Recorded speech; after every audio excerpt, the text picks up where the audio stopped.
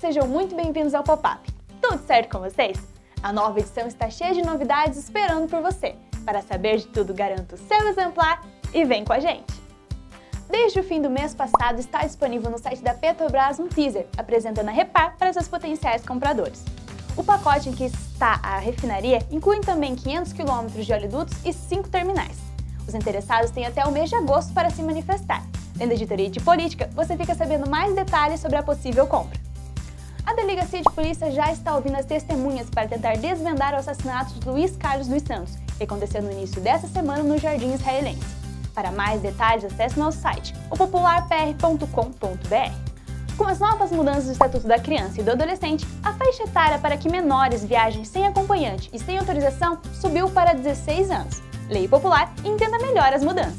A maior rede de aluguel de equipamentos de pequeno porte chegou em Araucária, a Casa do Construtor, Confira no Popular desta quinta-feira como encontrar a sede da franquia. Isadora Carnielli, atleta araucariense de ginástica rítmica, conquistou um troféu no Campeonato Brasileiro Caixa de Ginástica Rítmica. A jovem tem apenas 13 anos e já coleciona títulos. Fique ligado na editoria de esportes para continuar acompanhando a carreira da atleta.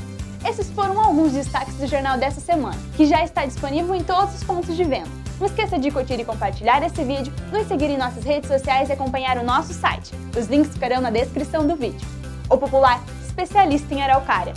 Até a próxima!